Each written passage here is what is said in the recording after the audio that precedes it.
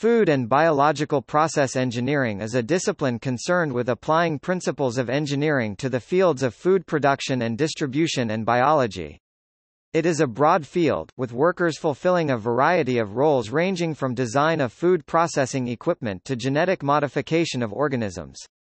In some respects it is a combined field, drawing from the disciplines of food science and biological engineering to improve the Earth's food supply. Creating, processing, and storing food to support the world's population requires extensive interdisciplinary knowledge.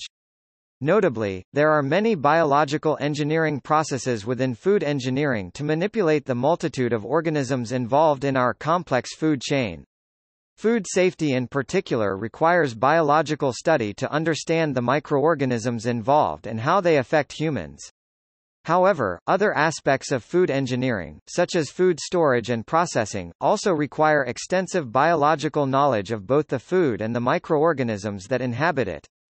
This food microbiology and biology knowledge becomes biological engineering when systems and processes are created to maintain desirable food properties and microorganisms while providing mechanisms for eliminating the unfavorable or dangerous ones.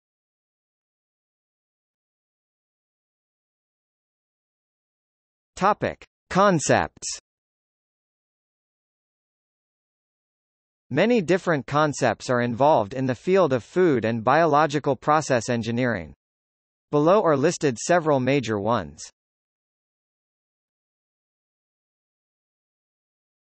Topic: Food science. The science behind food and food production involves studying how food behaves and how it can be improved. Researchers analyze longevity and composition i.e., ingredients, vitamins, minerals, etc. of foods, as well as how to ensure food safety.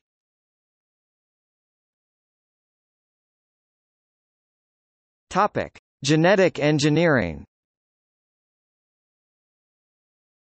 Modern food and biological process engineering relies heavily on applications of genetic manipulation, by understanding plants and animals on the molecular level, scientists are able to engineer them with specific goals in mind. Among the most notable applications of such genetic engineering is the creation of disease or insect-resistant plants, such as those modified to produce Bacillus thuringiensis, a bacterium that kills strain-specific varieties of insect upon consumption.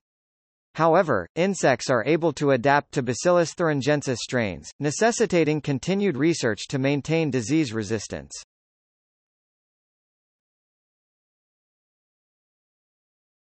Topic: Food safety.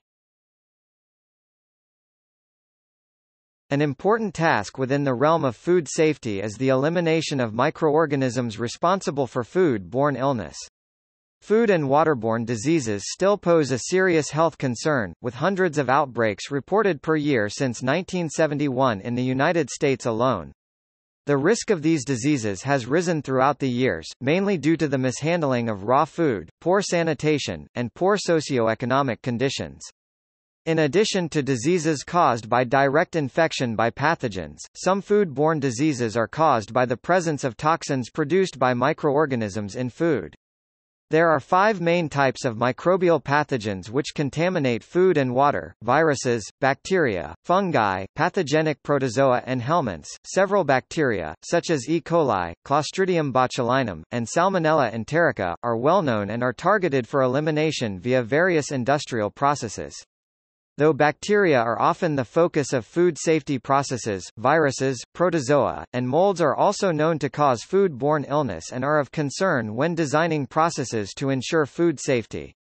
Although the goal of food safety is to eliminate harmful organisms from food and prevent food-borne illness, detecting said organisms is another important function of food safety mechanisms.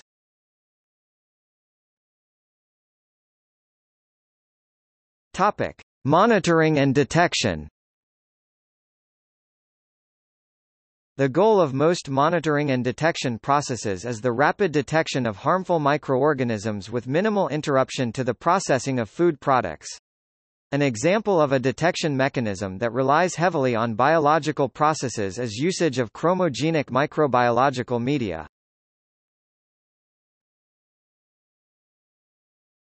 Topic: Chromogenic microbiological media Chromogenic microbiological media use colored enzymes to detect the presence of certain bacteria. In conventional bacteria culturing, bacteria are allowed to grow on a medium that supports many strains. Since it is hard to isolate bacteria, many cultures of different bacteria are able to form. To identify a particular bacteria culture, scientists must identify it using only its physical characteristics. Then further tests can be performed to confirm the presence of the bacteria, such as serology tests that find antibodies formed in organisms as a response to infection. In contrast, chromogenic microbiological media use particular color-producing enzymes that are targeted for metabolism by a certain strain of bacteria. Thus, if the given cultures are present, the media will become colored accordingly as the bacteria metabolize the color-producing enzyme. This greatly facilitates the identification of certain bacteria cultures and can eliminate need for further testing. To guard against misidentification of bacteria, the chromogenic plates typically incorporate additional enzymes that will be processed by other bacteria. Now, as the non-target bacteria interact with the additional enzymes, they will produce colors that distinguish them from the target bacteria.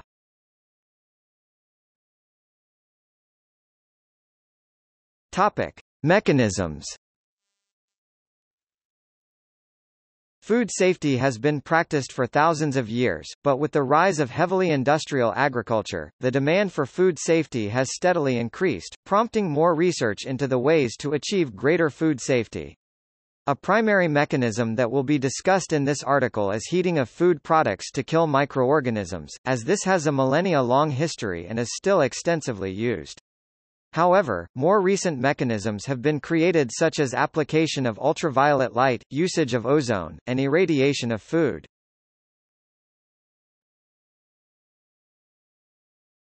Topic: Heating. A report given to the Food and Drug Administration by the Institute of Food Technologists thoroughly discusses the thermal processing of food. A notable step in development of heat application to food processing is pasteurization, developed by Louis Pasteur in the 19th century.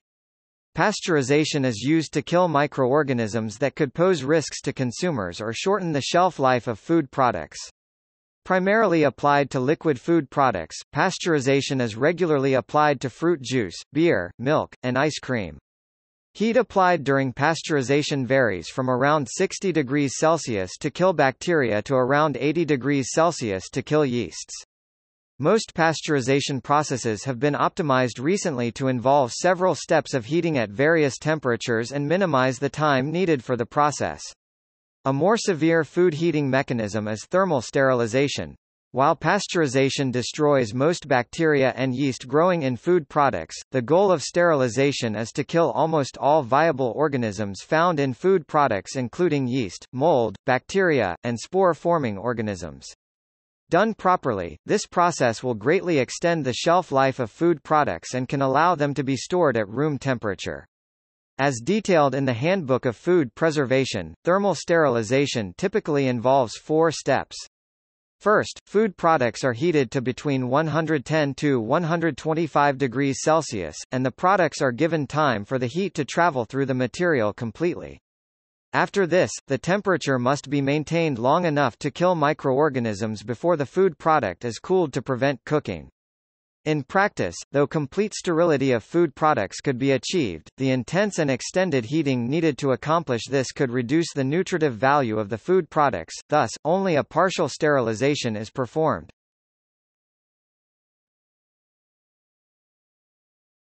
Topic. Low temperature process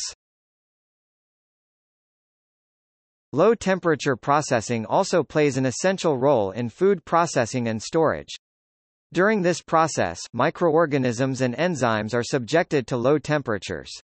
Unlike heating, chilling does not destroy the enzymes and microorganisms but simply reduces their activity, which is effective as long as the temperature is maintained. As the temperature is raised, activity will rise again accordingly. It follows that, unlike heating, the effect of preservation by cold is not permanent, hence the importance of maintaining the cold chain throughout the shelf life of the food product. Chapter 16 pg. 396. It is important to note that there are two distinct low-temperature processes, chilling and freezing. Chilling is the application of temperatures within the range of 0 to 8 degrees Celsius, while freezing is usually below 18 degrees Celsius. Refrigeration does slow spoilage in food and reduce the risk of bacterial growth, however, it does not improve the quality of the product.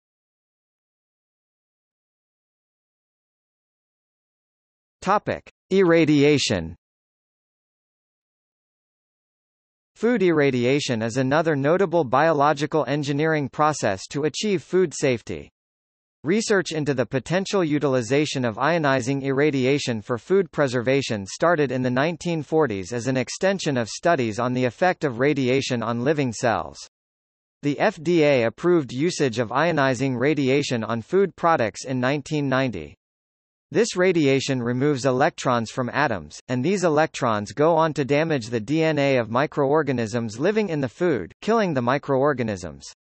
Irradiation can be used to pasteurize food products, such as seafood, poultry, and red meat, thus making these food products safer for consumers.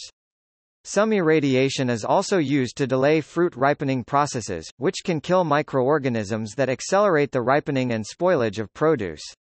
Low dosages of radiation can also be used to kill insects living in harvested crops, as the radiation will stunt the insect's development at various stages and damage their ability to reproduce.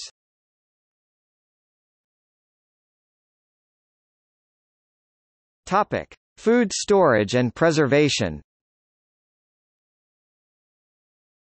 Food storage and preservation is a key component of food engineering processes and relies heavily on biological engineering to understand and manipulate the organisms involved. Note that the above food safety processes such as pasteurization and sterilization destroy the microorganisms that also contribute to deterioration of food products while not necessarily posing a risk to people. Understanding of these processes, their effects, and the microorganisms at play in various food processing techniques is a very important biological engineering task within food engineering. Factories and processes must be created to ensure that food products can be processed in an efficient and effective manner, which again relies heavily on biological engineering expertise.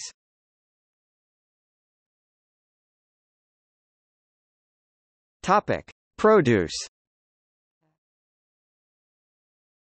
Preservation and processing of fresh produce poses many biological engineering challenges. Understanding of biology is particularly important to processing produce because most fruits and vegetables are living organisms from the time of harvest to the time of consumption. Before harvesting, understanding of plant ontogeny, or origin and development, and the manipulation of these developmental processes are key components of the industrial agriculture process. Understanding of plant developmental cycles governs how and when plants are harvested, impacts storage environments, and contributes to creating intervention processes. Even after harvesting, fruits and vegetables undergo the biological processes of respiration, transpiration, and ripening. Control over these natural plant processes should be achieved to prevent food spoilage, sprouting or growth of produce during storage, and reduction in quality or desirability, such as through wilting or loss of desirable texture.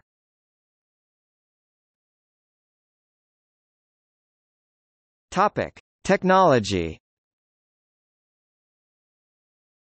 When considering food storage and preservation, the technologies of modified atmosphere and controlled atmosphere are widely used for the storage and packing of several types of foods. They offer several advantages such as delay of ripening and senescence of horticultural commodities, control of some biological processes such as rancidity, insects, bacteria and decay, among others.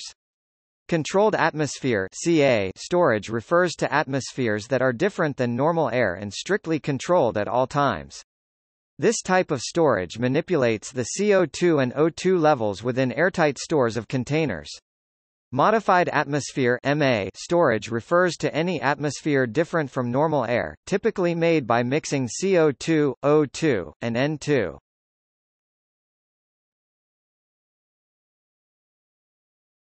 Topic: Waste management. Another biological engineering process within food engineering involves the processing of agricultural waste. Though it may fall more within the realm of environmental engineering, understanding how organisms in the environment will respond to the waste products is important for assessing the impact of the processes and comparing waste processing strategies.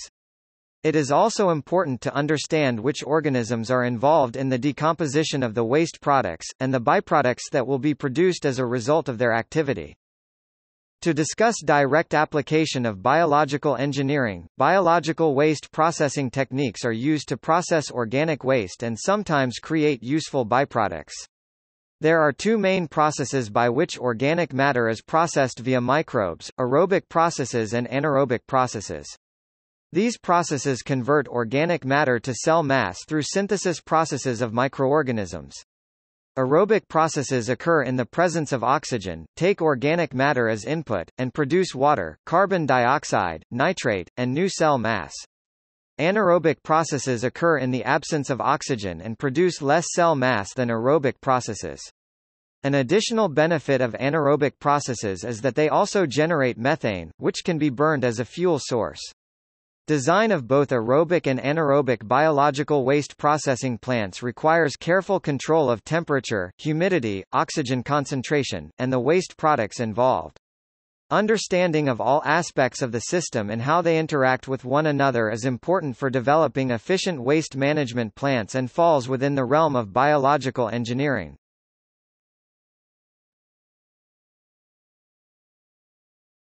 Topic. See also